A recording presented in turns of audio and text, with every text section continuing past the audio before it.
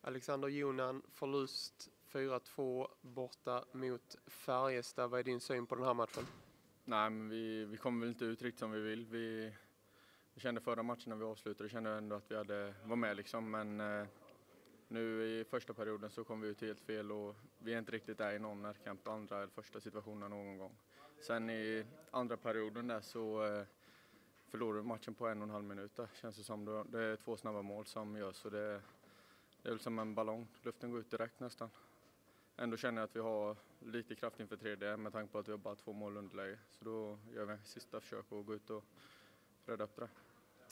Kan du beskriva hur det känns eh, i laget där när, när de gör två mål inom loppet av nio eller tio sekunder tror jag i, i andra?